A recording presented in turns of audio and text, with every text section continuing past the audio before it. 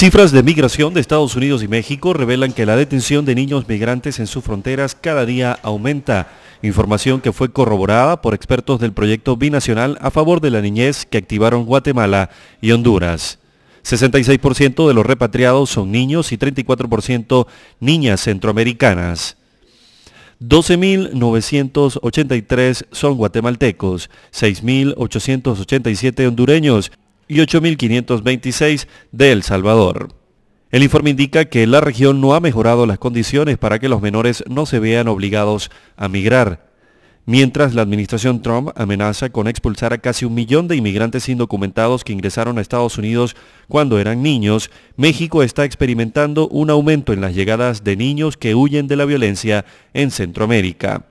En los últimos cuatro años, el número de menores no acompañados de Honduras, Guatemala y El Salvador que buscan asilo en México ha aumentado. El informe advierte que el cierre de programas migratorios en Estados Unidos no limitará la migración de menores, sino únicamente incrementará el número de ilegales. En Guatemala entró en vigor un nuevo código migratorio que plantea un sistema nacional de migración como principio fundamental, reconoce el derecho de toda persona a emigrar o inmigrar entrar, permanecer, transitar, salir y retornar al territorio nacional.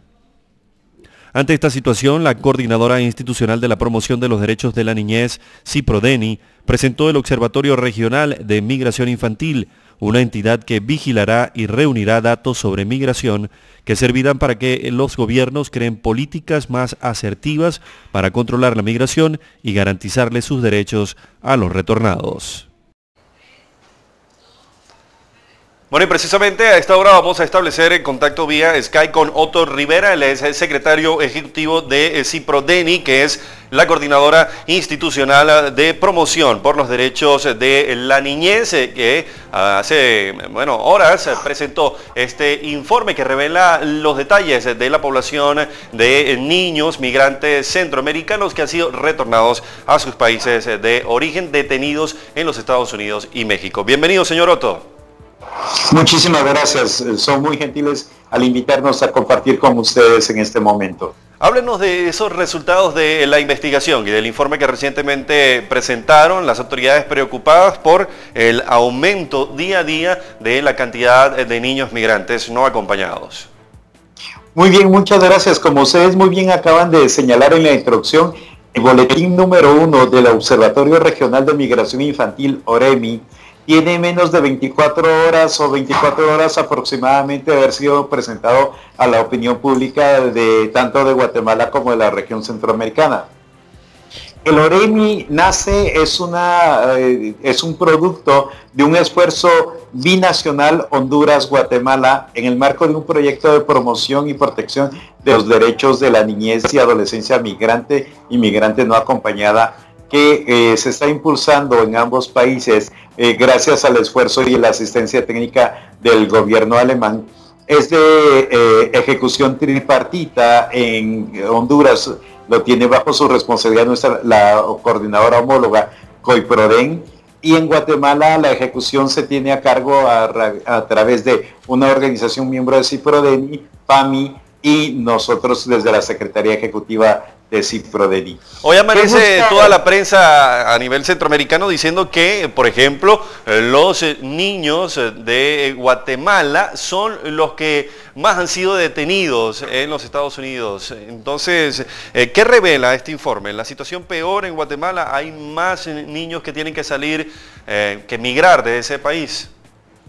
Por lo menos lo que sí tenemos la certeza plena es que son los, datos más fehacientes que tenemos en este momento de estos más de 12 mil niños detenidos en Estados Unidos. Ahora, para ambos países, y yo me atrevo a decir también que es el mismo caso de El Salvador, hay cuatro razones fundamentales por las cuales las niñas, niños y adolescentes están migrando hoy en día y en donde la reunificación familiar no es la principal, sino es la cuarta derivación pero hay otras tres que son sumamente importantes a considerar. La primera de ellas son las violencias en plural, porque no hay solo un tipo de violencias que están afectando en sus comunidades de origen o en sus comunidades de residencia. La segunda de ellas tiene que ver con pobreza y pobreza extrema. La tercera tiene que ver con el mejoramiento de condiciones de vida y otras alternativas socioeducativas que están buscando, pero la última es la reunificación familiar. ¿Qué queremos decir con esto?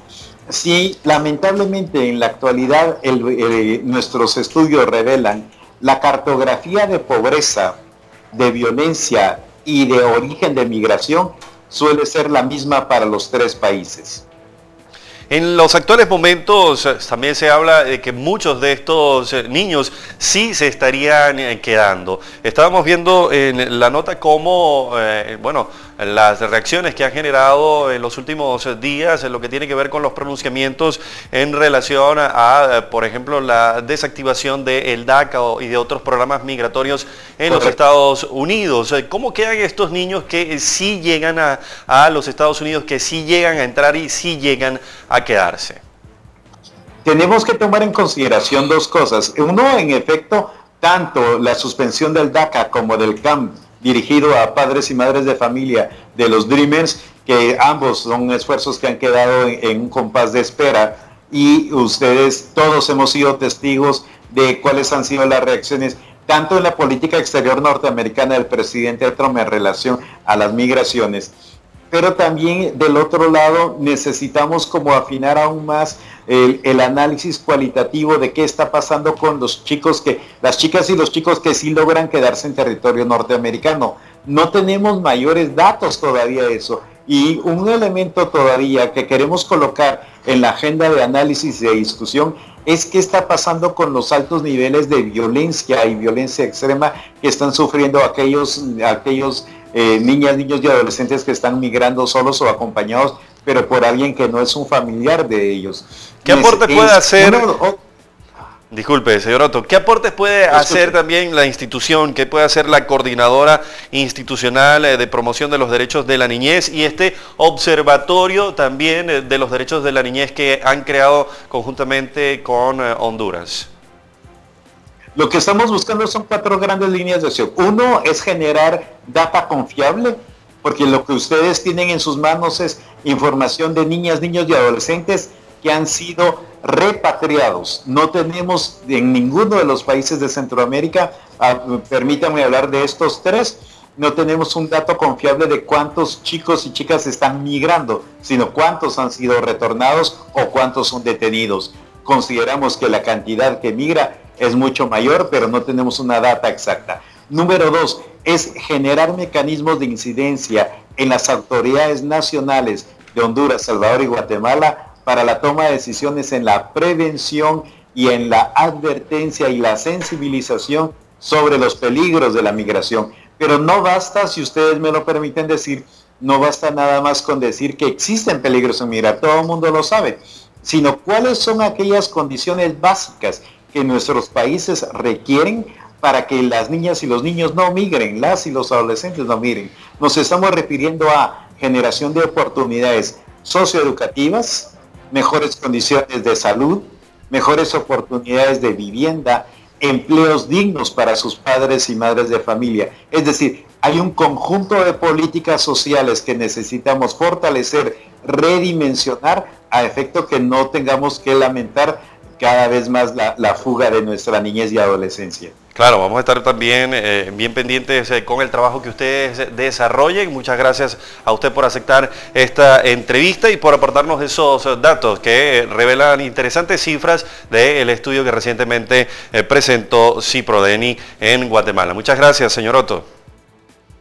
Gracias a ustedes. Yo solo quisiera dejar como un último mensaje algo que el boletín reveló y que nadie esperaba ustedes podrán observar en este y lo ponemos a disposición de toda, de toda la sociedad centroamericana. Por primera vez estamos evidenciando que hay niñas y niños comprendidos en su primera infancia, es decir, 0 a 6 años, que están siendo registrados como niños migrantes deportados. Ni lo que, el dato que tenemos aproximadamente es que ninguno está migrando solo, eh, digo, ninguno con sus padres de familia, sino están migrando con hermanas y hermanos eh, mayores, pero el, si ya de por sí la primera infancia es una etapa altamente vulnerable, que estén migrando los hace doblemente vulnerables. Así es que les agradecemos a ustedes, para nosotros, ustedes colegas de los medios de comunicación, son aliados estratégicos para que esta información pueda llegar a un público mucho más amplio. Así es que agradezco la invitación. Así es, eh, recuerde que siempre el Centro Internacional de Noticias de C24 está a sus órdenes enteramente, sobre todo por esta causa que tiene que ver con la defensa de los derechos de los niños, sobre todo en Centroamérica. Amigos, vamos a una pausa, pero enseguida regresamos con más noticias acá en C24.